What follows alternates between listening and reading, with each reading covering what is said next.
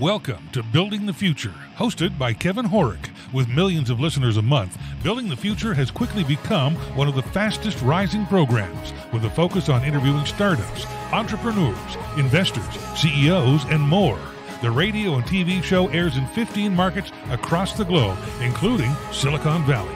For full showtimes, past episodes, or to sponsor the show, please visit buildingthefutureshow.com.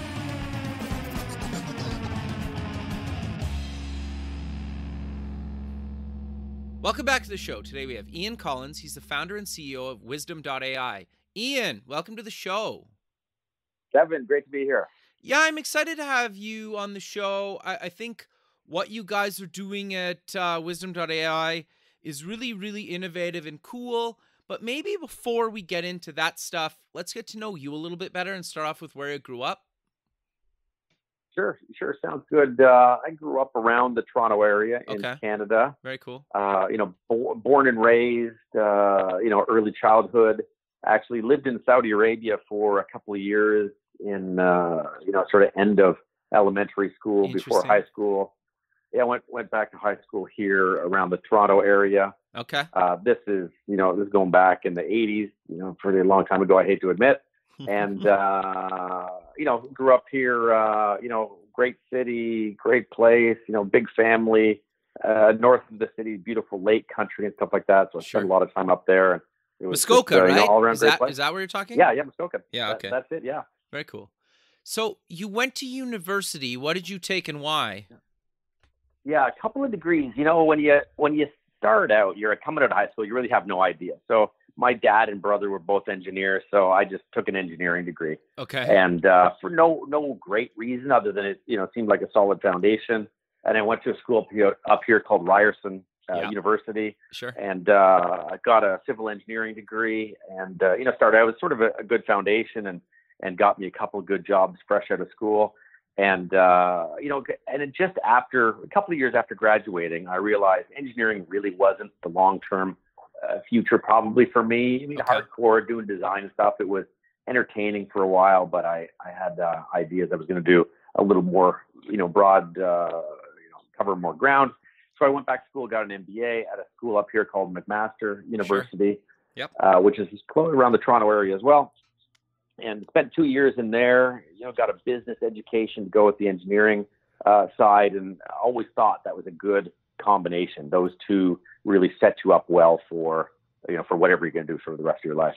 Sure. So did you do that full time or did you do that part time or, or how did you do that? Yeah, yeah, yeah. No, I did it full time. Okay. I went. I had worked two years. I'd been out in the workforce, and seeing, you know, seeing the real world, Sure. and decided, you know, I want to do this MBA. So I went back full time for two years, which was tough to give up the big paycheck, yeah, I can imagine. get used to a certain life. You know, you finally graduate after four years of university of being a poor student and you know scrimping and scraping, Sure. and uh, you're out there making a pretty good salary. You know, back in those days, you know, we were we were paid pretty well. I worked for a company up here called Rogers, you know, one of the big Sure. telcos.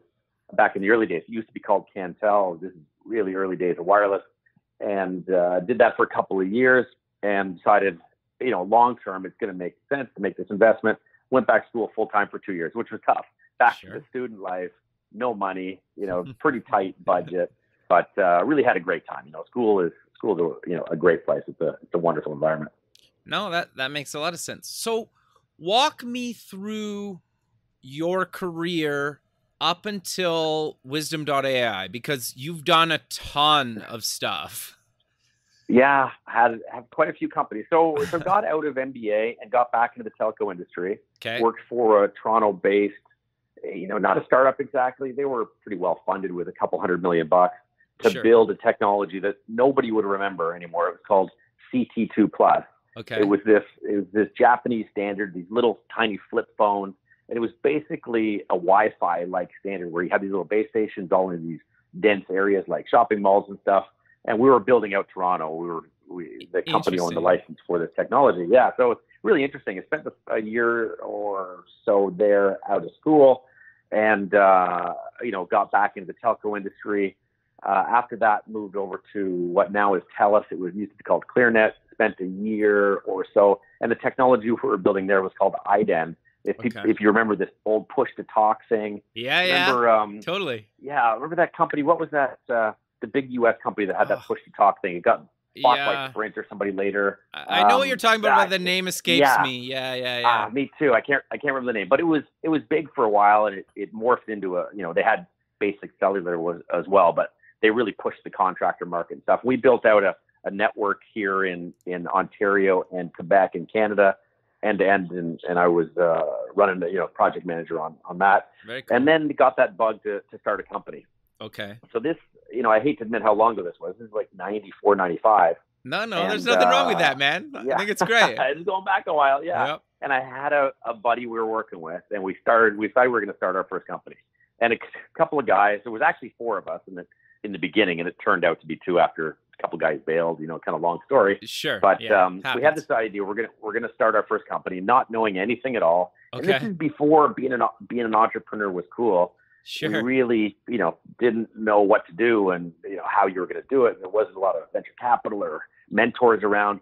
So we started a consulting company Okay. and we we lucked into this particular market. There was a lot of of the first generation of digital networks. You know, we'd gone from no Gs. You, you know, the early Yeah. days it was analog networks, Yep. and then the digital networks were just emerging. You know, one G. You know, we're going from four G to five G today. Yep. This is one G in the '90s, and and all around the world, uh, people were building these networks. In Canada, for some reason, back in those days, we were a couple of years ahead of everybody else yeah. and we'd been working in, in the industry and we knew all these great engineers you know switch engineers transmission engineers rf engineers and these guys are you know super smart and they just happen to be working in these telcos with us and everybody around the world we realized was looking for that kind of talent and skills Interesting. so we we hired all these guys and farmed them out around the world in asia and europe wow. To all these other telcos and we grew a pretty big team 50 or so you know people we had working for us um, you know and and send them all over the world on these different projects cool. and uh, and business was good. It was it was the mid '90s. You know, the the industry was booming. People would pay anything for talent because they had all made these promises to you know governments or shareholders that they were going to have a network up overnight, and it's always you know it never happens, of course. Yeah, yeah. So uh, so, so it really worked out. Yeah, really really worked out well, and it it uh, allowed us to get into business. You know, learn the basics, pay the bills, sock away a bit of cash. Uh, but then, of course, we had the bug to start a software business.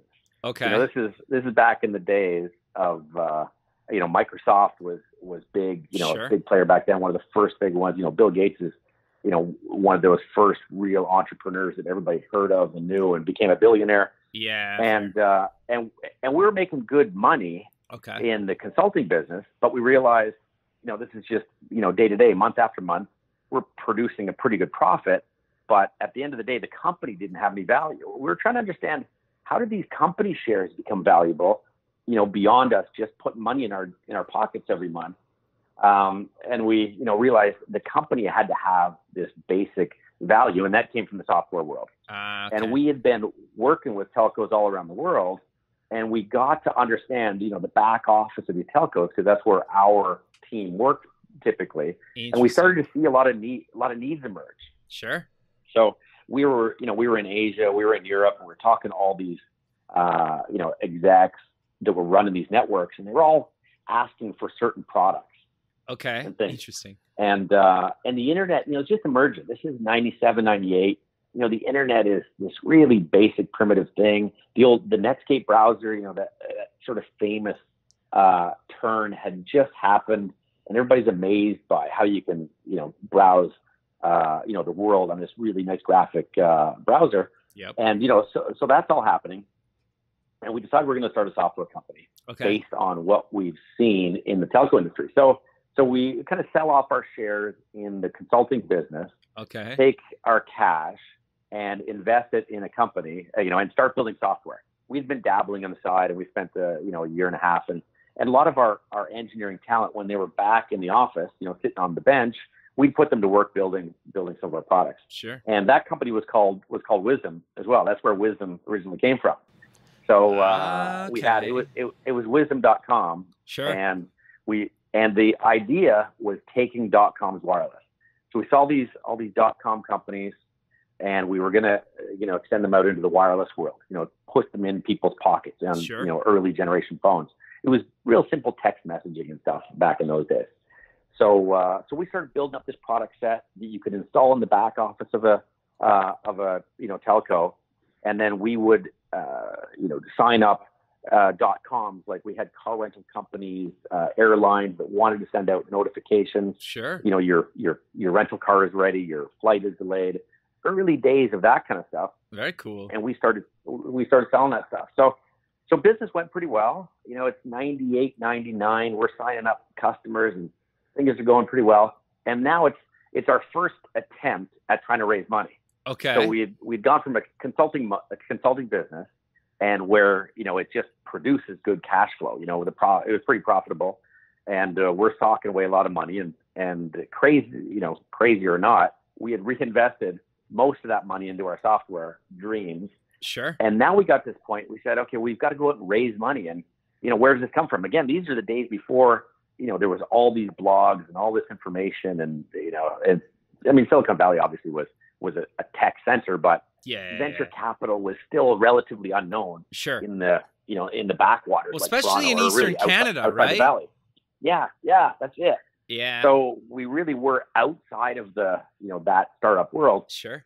So we go out, start knocking the doors. We're talking all kinds of people, trying to find you know venture capitalists, or it was more angels back in those days. There weren't a lot of VCs in Toronto. Sure. We're shopping around for money, and uh, we we fly down to the valley now and then and tell our story.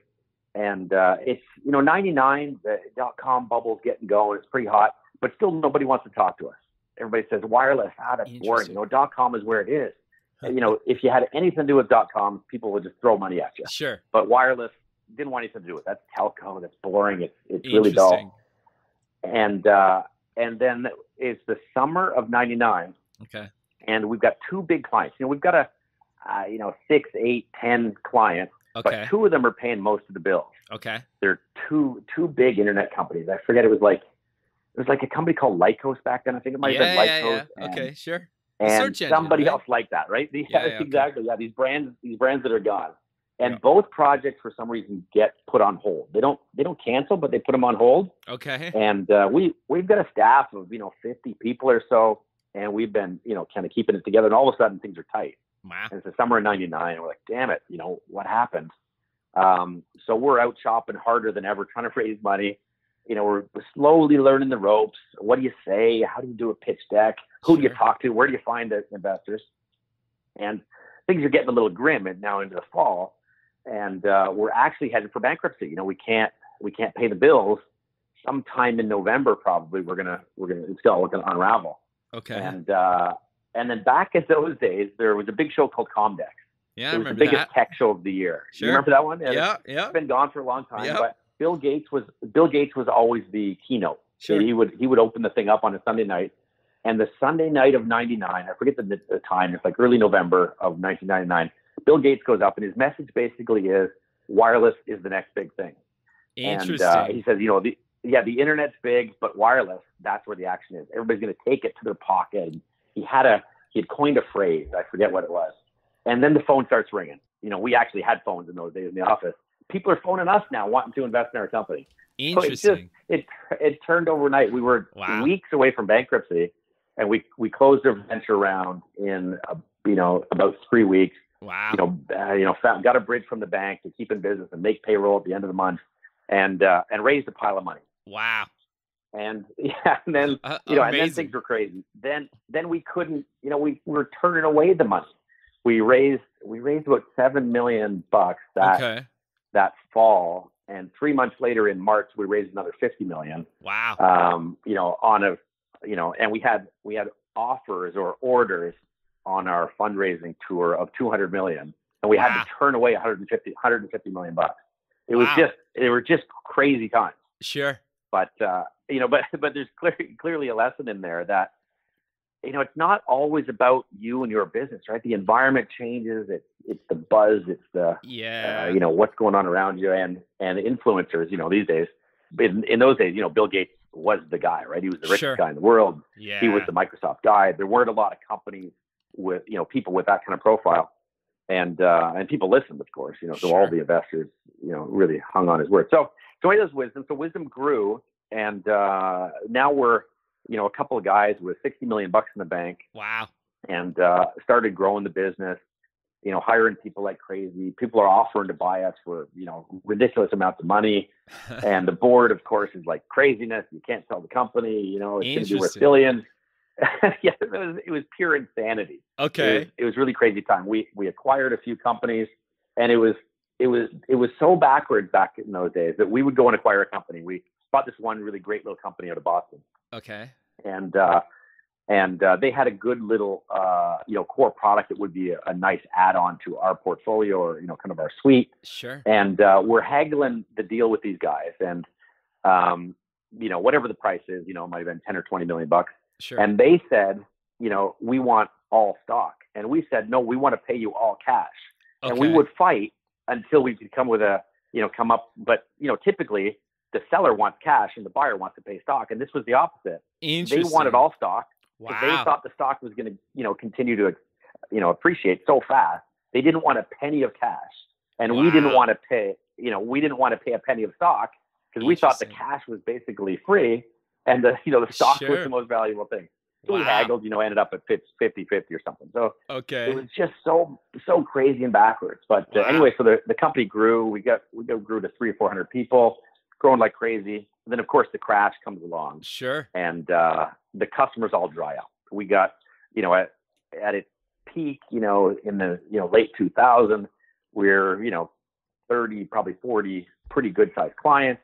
Things are looking good. You know, the the revenue is rolling, and it starts to dry up. Right, the dot coms sure. all stop spending money because this is the dot, dot com crash. Nobody knows what's going on. If it's ever going to come back, you know, the Nasdaq had dropped by half or something. Sure. And uh, the company slowly, you know, so then the then the you know, then the the structural challenges uh, start to appear. You know, when when times are good, uh, you know, life is easy, right? Sure. You're you're growing, you're spending, everybody's in agreement on what needs to be done. When sure. times are bad, yeah, it's just the opposite. Everybody's got a different idea. Sure. So we so the the board all you know has different ideas. The board you know is fairly big by the time after raising sixty million bucks. Sure. Uh, you know we had brought on a fairly big board, investors all over the place. Not all professional investors. You know in those days a lot of pension funds were were investing in stuff. Right. So we had a pretty diverse and big board that all had different ideas, and uh, and you find your voice really starts to uh, you know be diluted or you know people don't listen to what you say basically. Sure. and uh, by 2001 i found you know i just you know i couldn't drive the company. You know i couldn't basically have much influence anymore. It was a big company with you know big board a lot of people with their money in which is perfectly reasonable they've written Sure. massive checks Got you. and they Yeah. wanted to drive in a certain direction and i decided it was time to move on so so i moved on in 2001 Okay. But the company And, uh, continued. yeah Yeah, the company went Okay. on for another five years i mean it was a lot of money Sure. It was, Yeah, I guess, it was a hey, like, big- yeah. It was a big bank account. Yeah. And uh, and luckily back in those days we learned what a secondary was. So you know, my co-founder and I, we'd never heard of this thing called a secondary. Okay. What is but, it for uh, people that don't know? time- yeah. So a secondary is this wonderful thing where you you know if somebody's going to invest ten million dollars into into your company, Yeah. uh, typically the ten million bucks goes into the bank account, and you issue shares out of the bank account uh, or out of the company to uh, you know to to you know put shares in the pocket of your investor. The Right. ten million bucks goes into the company.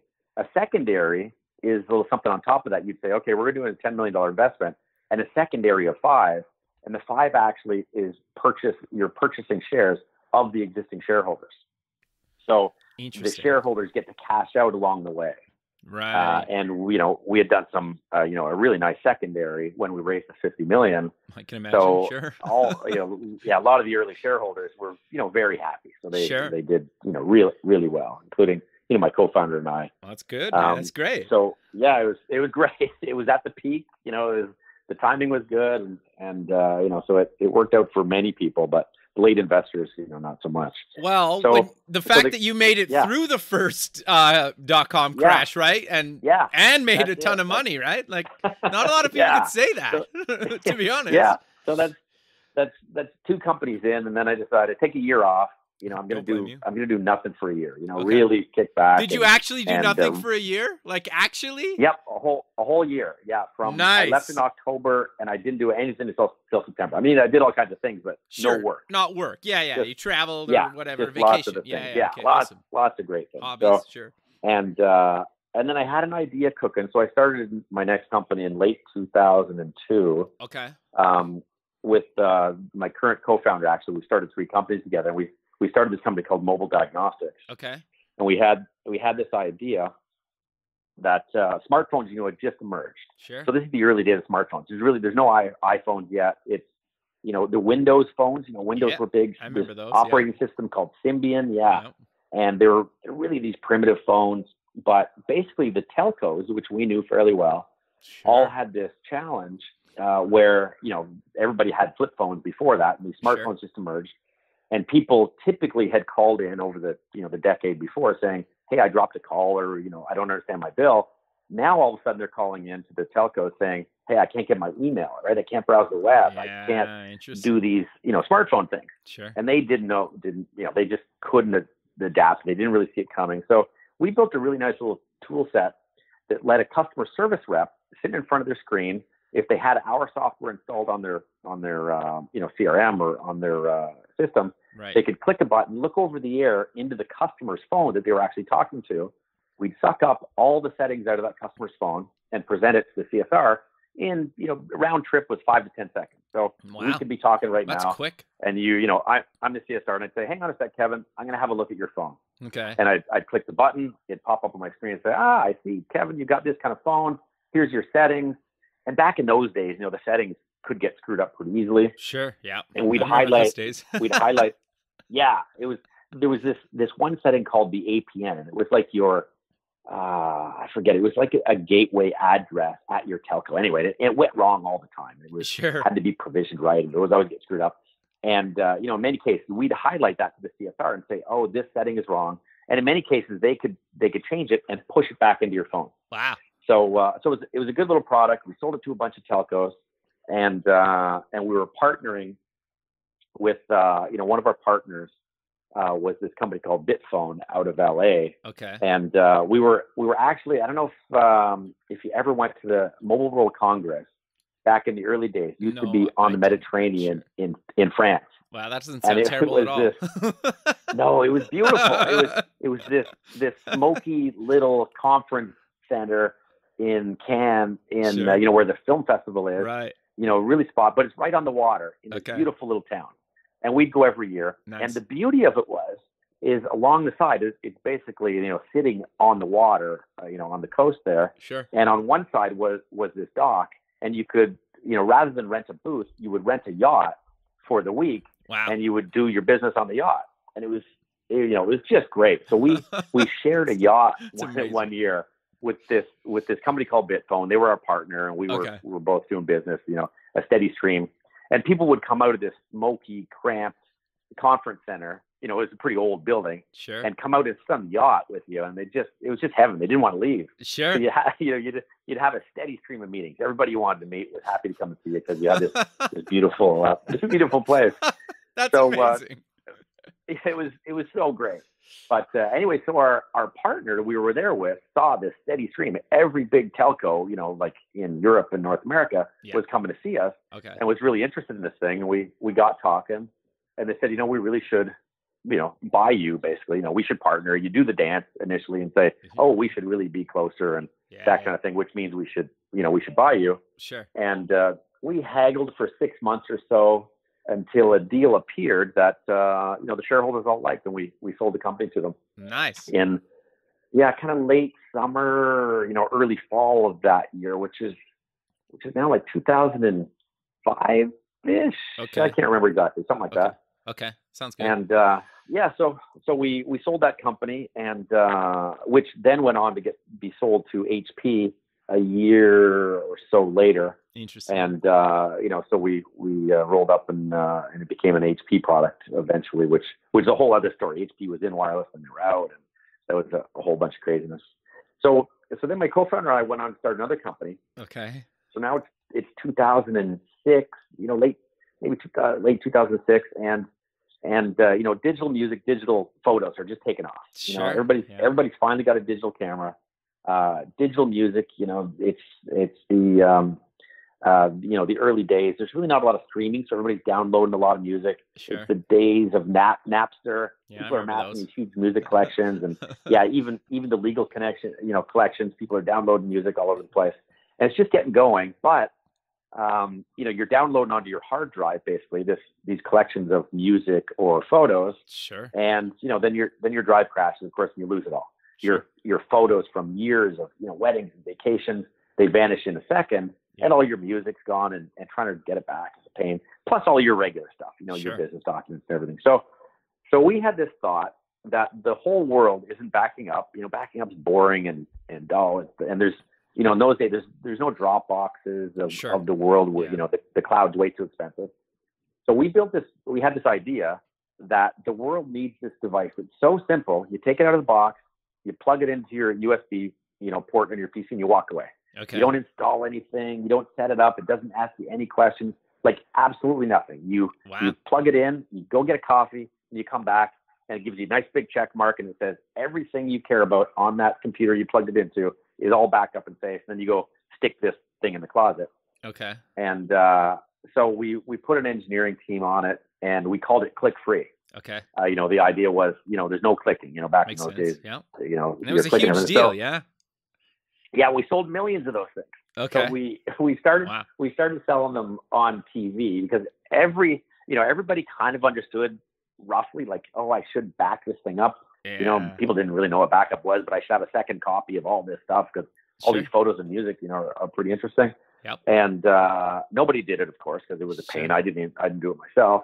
But this thing was so easy that people would do it Okay. and we sold millions. You know, we sold them on TV shopping all around the world. We had, we sold them in 50 countries, Wow. and uh, you know the thing took off. It was growing like crazy. We had you know crazy big you know offers to buy the company, and uh, you know things were really going well. Except we were in the hardware business, yeah. and okay, hardware is a, hardware is a tough business. Yeah. And we had a, there was a there was a couple of natural disasters that uh, caused us grief. Okay. You know, one was uh, there was that tsunami in Japan. Remember, and Yeah. there was a nuclear uh, reactor, I, Fukushima, I think it was called, yeah. yeah, and uh, the tsunami took the thing out, wiped it out. And there was this radiation zone, like 50 miles or something around this nuclear Wow. reactor. And uh, and little did everybody know, but within a couple of miles of that nuclear reactor was a factory that made half of all the world's hard drive motors. There's this oh this wow. tiny little motor that, that spins that disc, you know, at Sure. a couple thousand RPMs. And half of all the motors were made at this factory, and it was, you know, in the radiation zone and shut down. And Sure. and overnight, you couldn't buy a hard drive because HP and Dell and all the big guys back in those days bought up all the inventory for the next year.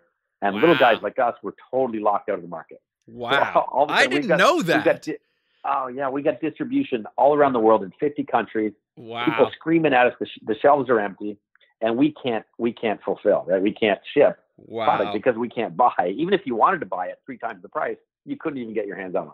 Wow. so there was that's the hardware business and it's just so tough. You know something comes up and eh, the best product in the world you know hardware will really come back and bite you you know sometimes. So so the company you know bumped along went went okay.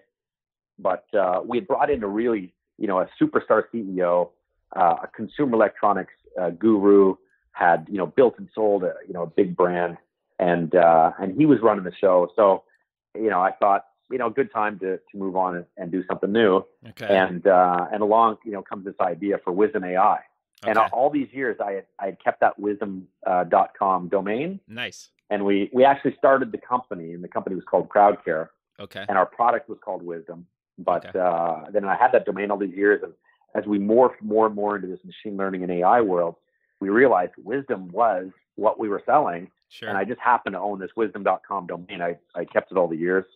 And, uh, you know, we, we obviously grabbed wysdom.ai Sure. and, you know, and, and repositioned the company as, as that. And then, you know, wysdom, wysdom.ai was born. Okay. So what exactly is and- wysdom.ai and why did you decide to start it up? Yeah. So, yeah. So wysdom, you know, the, the initial idea really came from, it was, it was similar to this mobile diagnostics thing that we had done years earlier. Okay. uh, where we had seen the ability to look over the air into the device and and gather a lot of data. And you're, you know, this is now 2000 and you know 11, 12, 13, and natural language processing was just emerging. Sure. You know, this early days of you know using machine learning and NLP to understand a phrase. You know, what was the customer's intent rather than the old keyword days. You know, for Sure. a, a decade or more, we'd had keyword search tools that just took the literal words and said, okay, where do I find these words in, in something else? And you know, that should be a match for for what this person's looking for. But NLP emerged, but we were on our phones and you'd go to Google and you could see Google had started to use NLP, uh, you know, back in those days. Um, and you were on a, you know, an iPhone or something, and you'd say, "Why is my battery life stink?" And it would give you a 10 million results, Sure. but it wouldn't even know the phone that was in your hand. And we thought, you know, that doesn't make any sense. We know we can gather all this data from this device, and Interesting. Because you did the- it before, was- right? yeah, we had done it, and yeah. we thought this NLP tech is obviously, you know, the future. It's going to get better and better at you, you know, breaking down that sentence and constantly, you know, using these machine learning models to improve and understand and interpret and predict what this customer is talking about. But if we inject, you know, hundreds or thousands of data points from that we know about this customer and combine those two, we're going to have a much better system. It's going to be, you know, just a better mousetrap so we we started building that system back in in 2012 and and in the early days we called it crowdcare because we were actually we we thought we would go out and crowdsource a lot of this information we would go out and, and gather a lot of knowledge from you know the masses generally and and what they said and what they learned and and we would build this uh, knowledge set uh, you know kind of library of, of data. Um, you know so as you know that part of the idea wasn't wasn't crystal clear and we had tested it. We had gone out and, and tested some some public products but uh, what we found what we settled on really was we went to our old friends at rogers Sure. and said you know we we built this new system. It uses this natural language processing tech and we we combine it with a lot of customer data to really understand them well and we can understand them we can satisfy or understand their need and we'll probably satisfy them and they won't end up in your contact center. And uh, and Roger said you know that's a great idea. We you know really love the thought of it. They were you know innovative enough to to take a chance on a young company. Sure. and uh, they said let's go for it. We're going to give you guys you know of Rogers has about 10 million subscribers. Sure. they said we're going to give you about half a million subscribers in this one particular category, and we'll give this thing a run and see how it works. Interesting. And, And, sorry. yeah, no, and yeah, oh, sorry, sorry, No, I was go just gonna say, just for people that don't know, Rogers is a big cellular carrier in Canada. Just it, like an AT and Yeah, type yeah. thing. It'd be comparable. Yeah, yeah, Or Verizon. Yeah, they're the something like biggest, yeah. Yeah. yeah. They're the biggest in Canada. Yeah. They sell you know cable, cable TV, wireless, uh, home phone, the usual Internet, full service yeah. package. Yeah. internet, yeah, well, all that stuff. So, so uh, yeah, with with 10 million or so subscribers, they said, here's half a million. Let's give it a test. And uh, you know, we believe this is kind of an interesting idea. And uh, back in those days, it was mostly behind a search bar. You know, the conversational Okay. stuff really hadn't emerged yet. Right. But what we did with Rogers is we said, you know, these new machine learning models really need regular attention. And it's not something we're going to build and deploy and then leave alone. It's something we're going to, you know, set up. We're going to try and understand as much as we can before we launch. But then the real work begins after we launch. Once we launch this, we're going to listen to the customers every day, understand where our system worked and where it didn't, and constantly manage the models and try and improve the system. And we said, let us do that for you. We will be the operators, basically, of the system. And Roger said, yeah, you guys do it. We don't have that talent in our organization. We don't have, you know, engineers and experts, and we don't, you know, really understand, you know, know what uh, it's going to take to accomplish that. So that really became core to our business model. Is we weren't going to sell software, you know, even you know, cloud-based software. We were going to sell SaaS, and this is the early days of of SaaS. Sure. So it was our product with the service to to manage it, to optimize it every single day, and that really became core. Um, and it you know and it worked great. It really was super effective. Everybody was happy with the results. We you know outperformed all of our our uh, expectations, and and we started rolling out more brands. We started landing. And it, again, the theory in the early days was uh, if you stick to one industry, you're going to build up this this sort of critical mass of knowledge in that particular industry. These machine learning models and utterances and intent, and the reusability is going to be really high. sure. So we focused we focused on the telco industry, okay. and we landed, uh, you know, a half dozen or so other telcos, and uh, and the thesis proved to be true. It really was highly reusable in that industry. Whether you're in Japan or Australia or you know anywhere in North America or you know Mexico, South America, people are asking the same things. It's like yeah, in the summer, fall, they say, "When when can I get a new iPhone?" Sure. Yeah, they you know they say, "Why is yeah. my bill so high?" You know, yeah. why, how does this work? And and all those kinds of things. And then it it naturally, you know, starting about three years ago, it started to morph into a conversational, you know, UI. Okay. Rather than coming through a search bar, pure question answer, it started to morph into the conversation as you know Facebook emerged and all the the, the chatbot world and all that buzz right happened. It naturally just extended into uh, you know this conversational UI, but the same back end product really uh, you know served us well. So so uh, you know it's a long way to say what what we you know the product really is is a full service uh, conversational AI. So okay. we sell now to to multiple industries. Okay. You know, telcos, banks, insurance, government, tra- transportation are you know some of the big ones. Gotcha. And um, we sell a full service. So we don't sell you a toolkit or a piece of software in the cloud. We sell it as a service. So from us, you buy conversational AI as a service. Okay. And you know, there really are two parts to this market. One is the do-it-yourself, you know, toolkits that you can buy from literally hundreds and hundreds of vendors. Sure. You know, some of the best being, you know, Google and and uh, you know Microsoft and Amazon and so you know so on. But many uh, large enterprise, which is our focus, uh, you know, these large enterprise clients are realizing it's not a core expertise like anything. You know, I'm a great bank, I'm a great insurance company, or I'm great telco, but I'm not great at this conversational AI world. And I want to buy a full service product. I want to buy the software. I want to buy, you know, all the tech and I want to buy it uh, an optimization service where somebody's going to monitor my customer behavior, understand where it was able to satisfy the customers. Uh, if it didn't satisfy the customers, uh, you know, quickly diagnose why and optimize that system on on my behalf to make sure it improves every day. And that sure. is really what Wysdom AI is now.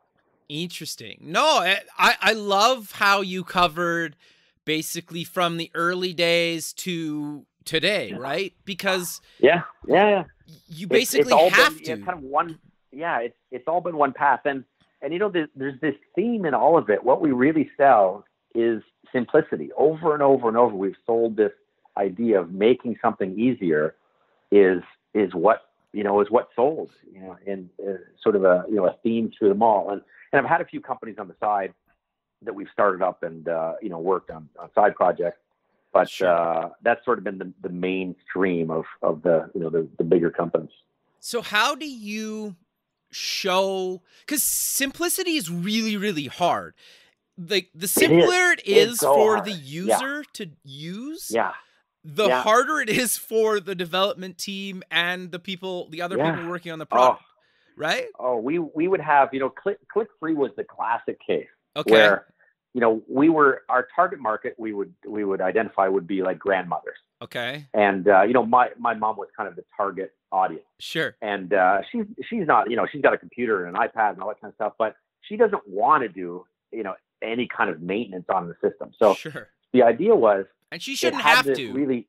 No, she should exactly. Yeah. You shouldn't have to, but you do. Unfortunately, yeah. It's, you know kind of the, just the state of the world is nothing ever works. But yeah but you shouldn't have to. So making that so easy, and we, you know, we had a fairly big team, 100, 100, you know, 50 people, oh, wow. and uh, we'd sit with the product team, you know, every week working on, you know, features and changes and modifications, sure. and uh, and everybody wants to add features. You know, sure. there it's like if only we had this, it would do this wonderful thing. If we had that, it would do this wonderful thing, and the and the menus would get long, they'd get complicated, yeah. and and uh, and somebody said if only we added a step here, it would do this, but it would it would pull away from the core. And it's amazing, even, you know, no matter how well you state the mission of the company, you know, the mission is that grand, you know, grandma can take this thing out of the box and back up without any confusion or complication, uh, you know, or questions. Still, people say, but only if we had this, it would be better. But sure. only if we had that. People are trying to throw features in, and it's year for years we would battle, and I would have to fight and say, you know, nothing. It still has to plug in and do everything and give you a big check mark or thumbs up at the end and say it's done and you're safe. You can bury some things if you want, but that core purpose, yeah, you know, had to stay simple and clear. And it, it, it was amazing how hard that was. I yeah, I can imagine. You'd probably get Yeah. fought on that Yeah. almost daily. And it was, it was, you know, it was tiring sometimes. Yeah. But uh, but we we always stuck to it, and the thing was, you know, you know, was really easy. Interesting. So I, I'm curious though to know what features and what how have you navigated adding features and and adopting new trends in technology because that in itself is very very tricky. Do you agree? Yeah, yeah, yeah, absolutely. I mean, AI is the you know kind of the ultimate technology. Sure. Um, but again, from from our perspective now in Wysdom.ai, you know, because we sell this full service product, it's Okay. fully managed. Uh, you know, what we really sell now is results. So we go into a large enterprise client and say, you're probably thinking about a conversational AI solution. Everybody is. If, you know, if you Sure. don't, your competition is uh, you know going to launch before you and so on. So everybody is shopping, and you look at the the complicated world of AI. I'm going to go out and buy a product you know, a toolkit or a, you know, a package of some form. I'm gonna have to find the team internally. I'm gonna have to train them, manage them, motivate them to, you know, to stay on, give this thing attention because they really need attention every day to, to really improve. sure. And versus our sales pitch is, we're gonna sell you results. Okay. You know you need this thing. You're gonna need conversational AI. You're gonna do web chat, or you're gonna do Facebook chat, or, or you know, Twitter, or, or text, or email, or whatever it is, or you know, Alexa and Google Assistant. Um, you're going to need that. But if you buy it from us, you're basically going to point us in the right direction. We're going to gather some information about your, your customer history and that kind of thing. And other than that, we're really going to take it off your hands. and Uh, we're going to sell you performance. There, you know, there are three main things that we sell in our performance guarantees. We say, you know, the NLU side, Right. our system will understand a certain percentage of everything your customers say. We're going to understand and match that to an intent and really know them well. And this is, you know, 70, 80, 90% typically. And we guarantee that because we're the, the operators. Got you. And then the, the second big metric we sell them, again, we guarantee, is we will have a certain amount of containment. You know, customers will be inbound.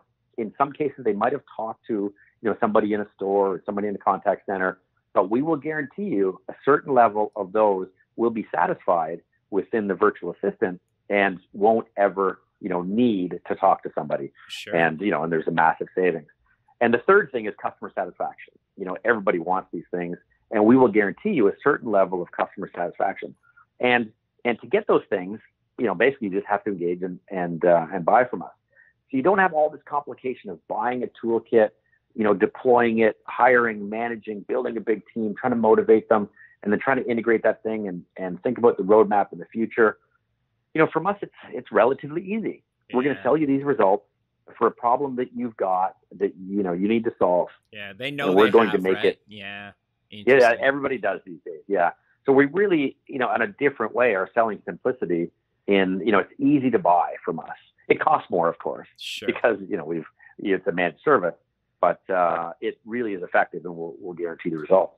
Yeah, but they would have to build their whole. Well, they would have to build a team internally or Yeah, externally to actually build the Yeah. product, which takes months or Yeah. years, and then Yeah. constantly maintain that and add features, plus have people on their team using it. So you're really Yeah. not that much more expensive. No, you're no. probably way No, no, it- cheaper, right? Oh yeah, if, if you do Okay, the cost benefit, okay, you know, okay. apples to apples, it's it's a lot cheaper. Yeah, yeah. but compared to just buying, a, you know, the software, ah, see it's more expensive. Yeah, I got you. But yeah, if, if you look at the total cost of ownership, it's a lot lower if you you know outsource to us. Sure. Well, and then it's your problem to handle all Yeah. those things I just mentioned.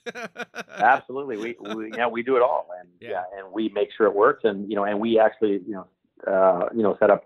Uh, you know, or we will take on the penalties if we miss our targets. You know, we, we get penalized financially. I got you. Interesting. Okay. Yeah. So Yeah. go ahead. Sorry. No, no, yeah, that's it. It's, that's been our business model. It really became the core of our business, and it's uh, you know, we're as this industry matures, Sure. people are realizing that the hard part isn't you know the tech and the AI anymore. Yeah. The hard part is make you know adding value to your company, you know, making this stuff work. And you know, as, as you talk to uh, people who've been in you know the IT business for for a while, CIOs of these bigger companies, Yeah. they've all bought these massive software packages, right? Yeah. Millions and millions of dollars have been invested, and then they just they don't get the value. Yeah. You know, they get it takes a long time to set them up, plug them in, make them work. and then nobody pays attention, right? They don't get used, they don't get touched, Yeah. and, and all this, the dream of all this, these wonderful things, doesn't actually come true, and and those people realize buying one of these products as a service really is effective, right? You know what you're going to get, where you you know you don't take the risk of you know the internal teams losing interest and moving on to the next shiny object and and so on. So as this industry matures, it it really uh, you know is working well for us. No, it makes a lot of sense. It's interesting that you bring that up because I, don't want to say the company, but I ran into a guy. Just me and a buddy were talking at the bar, and the guy next to us was with his wife, and they heard Yeah. our conversation, and we were at the same conference, and we got talking, and he Yeah. told me that his team bought this multi-million dollar piece of software. I think, if I remember correctly, Yeah, yeah. from another company so it was used because it was so Yeah, expensive and they Yeah. were on almost year 20 like almost two decades oh, of migrating to this new piece of software like Ah, how yeah. insane is that yeah.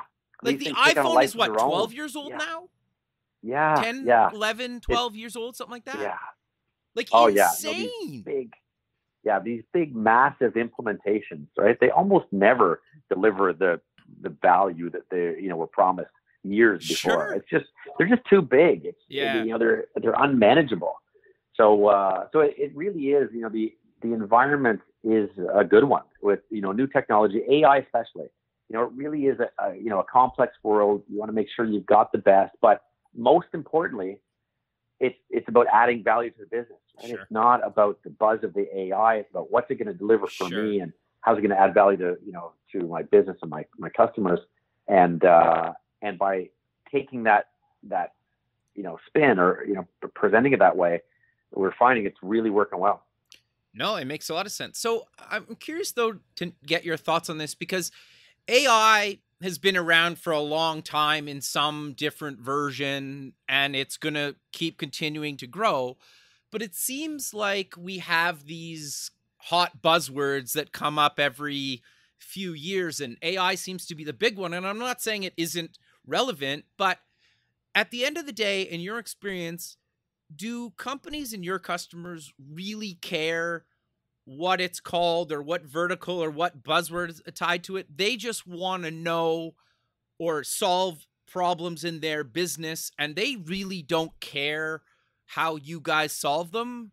Re- do you know what I'm trying to get of. at? Yeah, yeah, for sure. It's you know, it, it's kind of true and and kind of not. Okay. Uh, you know, from from one hand, um, like you say, the AI part isn't critical to it. You know, if you look at our business, you know, we have a lot of machine learning models and, and Sure. deep learning in the background that's that's uh, you know interpreting the customers, and we've got models that determine you know massive amounts of customers were satisfied or not satisfied, and and and clustering together the, the failures, and all these models have been built, and the our clients, you know, the enterprise, Yeah. they don't really care that much. They like hearing about it. They say, "Oh yeah, tell me about it," and all that kind of thing. But at the end of the day, if it performs, they don't really care too much about what model you use and if it's actually the you know the most you know leading edge or bleeding edge or whatever.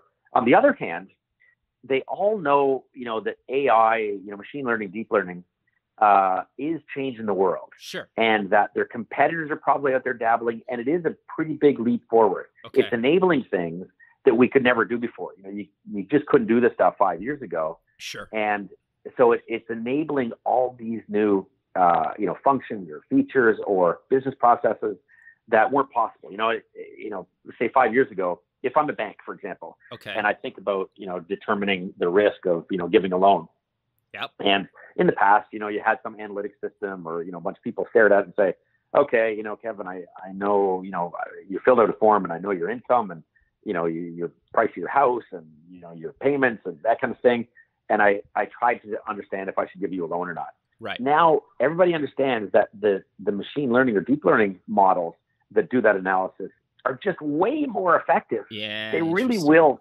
determine where you should give credit and where you shouldn't, which is, you know, the core of being a bank. And if you don't adopt that technology, you really will give all your customers, you know, all the best, you know, clients or, you know, customers up to your competition. Sure. You'll be left given a bunch of bad loans and you'll probably go to business. So so people do realize AI is the foundation or is behind all these great leaps forward. You know, we couldn't Well, that's good we then. couldn't yeah, we couldn't create a conversational AI um, you know, with the technology five years ago, you know, with basic logic basis. It couldn't be done.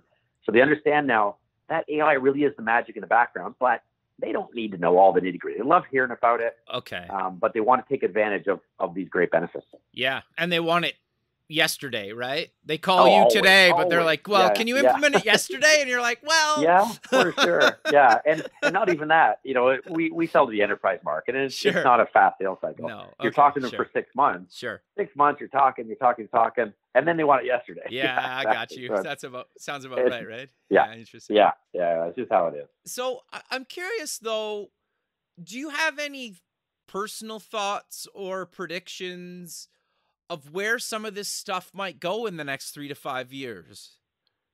Yeah, yeah. You know, all the analysts, I, I wouldn't argue too much with the, the basic analyst opinions Okay. of our particular space, you know, conversational AI. So, sure. so everybody says, say, 80% of customer inter- interaction with brands are going to be handled by an AI. Okay. And at first you think 80%. So if I talk, you know, if I'm going to the mall and I want to, you know, I go to the Apple store, or well, Apple isn't they're a tech company, but sure. if I'm going to buy some shoes and I say, you know, what are the right shoes for me?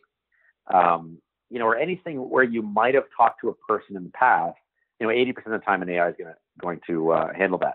And you think, ah, that seems like a lot. And it's a short time. You know, people say two to three years, not even five Sure. and uh, but it is moving so fast. It's really true that you know the technology today is pretty amazing. We can really understand so much of what that customer actually means. You know when they when they say certain things and we have a conversation with with that customer, what did they really need? What was their challenge or interest? And uh, it's amazing how fast these systems learn Sure. and you know and they're getting more and more natural you know we're mostly text based today but the voice stuff is coming so fast yeah. just fair. behind uh, you know two years from now we really are going to have a you know it's it's just it's really moving fast that's the most amazing thing in in this industry and we're we're close to it of course um, and a lot of our clients are getting out there in the you know relative relatively early days and we're satisfying a massive amount of clients but they really are going to hit 80% Interesting. everybody we're working with right now within the next two to three years. You can Sure. see it clearly. So it really is coming. It's it's you know it's going to be a massive shift in how we all interact with these brands, and, and we'll, we'll all be used to it, I guess, and not expect anything different. Yeah, no, that's fair. And I, I also assume though that if I if I have my own say health data or personal data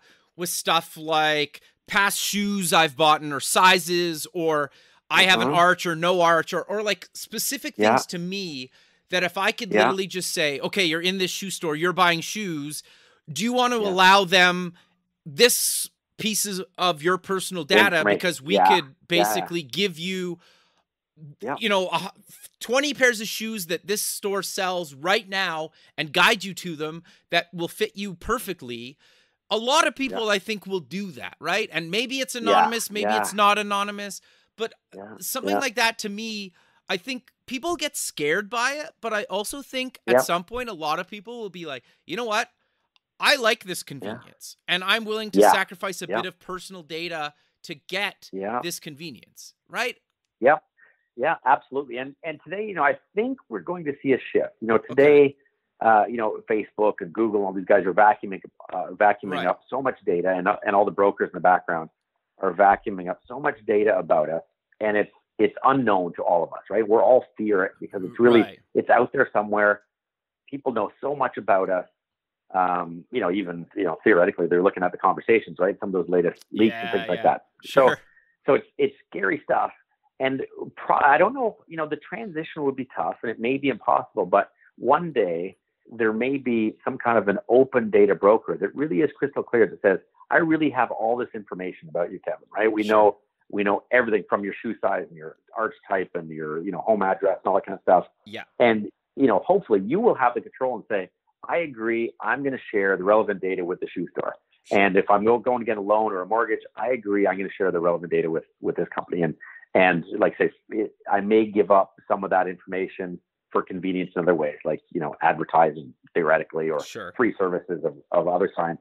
But I think we're going to see more control end up in the hands of the consumers in controlling our data. Right now, it's it's wild west, Sure. and 20 years from now, people are going to say, "Whoa, like how did anybody ever put up with that?"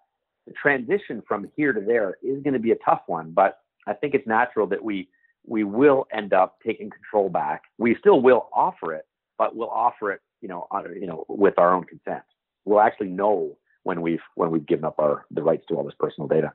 Yeah, no, I 100% agree. But Ian, we're coming to the end of the show. So let's Ah. close with mentioning where people can get more information about yourself and uh, wysdom.ai. Uh, yeah, you can, you know, wysdom.ai, of course, W-Y-S-D-O-M uh, dot AI is our, is our website. Um, you can always reach me on LinkedIn. Uh, you know, always happy to chat with uh, other entrepreneurs and, and people interested in the space. Um, you know, so that's where you can reach us. Perfect, Ian. Well, I really appreciate you taking the time in your day to be on the show, and I look forward to keeping in touch with you. And have a good rest of your day, man. Yeah, you too. Thanks a lot, Kevin. It was great being here. Thank you. Okay, bye. Thanks. Bye. Thanks for listening. Please visit our website at buildingthefutureshow.com to join the free community, sign up for our newsletter, or to sponsor the show. The music is done by Electric Mantra. You can check him out at electricmantra.com and keep building the future.